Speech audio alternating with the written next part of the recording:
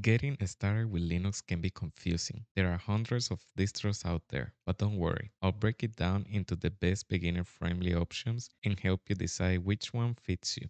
All this in less than 5 minutes. When I first switched to Linux, I spent hours scrolling through forums, reading debates, and watching endless comparison videos. It felt overwhelming, but here's the truth. You don't need all the information to start. You just need a quick framework to match a distro with your needs. Ubuntu is the most popular Linux distro for beginners. It has a huge community, great documentation, and almost every software out there supports it. If you're looking for stability, frequent updates, and lots of tutorials online, Ubuntu is the safest choice. It uses the GNOME desktop, which feels modern and clean, though it might take a little getting used to if you're coming from Windows. Plus, it's backed by Canonical, a company that ensures professional level support. The next one is Linux Mint. Linux Mint is perfect if you are switching from Windows. The interface feels familiar with a start menu and a taskbar layout. It's based on Ubuntu, which means you get the same stability, updates, and software compatibility, but with a user interface that's easier for Windows users to adapt to. It also comes with multimedia codecs pre-installed, so you can play music and videos right away. The next one is Fedora. Fedora is a great choice if you want cutting-edge software and regular updates. It's often the first to include the latest Linux features, making it popular among developers and tech enthusiasts. It's sponsored by Red Hat, so it also gives you a taste of enterprise Linux, but still in a desktop friendly way. The default GNOME desktop is clean and minimal,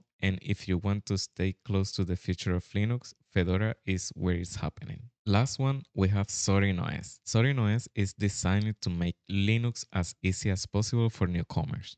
It even lets you choose a desktop layout that mimics Windows or macOS, so you instantly feel at home. It's lightweight, so it runs well on older hardware, but still looks modern and polished. If you want something that just works out of the box, with minimal setup, OS is a great pick. And that's it. Choosing a Linux distro doesn't have to be complicated. If you're a beginner, just match your needs to one of these options and start. Because here's the secret. The best distro isn't the perfect one. It's the one you'll actually use every day. So, which distro are you starting with? Drop it in the comments below and I would love to hear your journey. See you in the next video.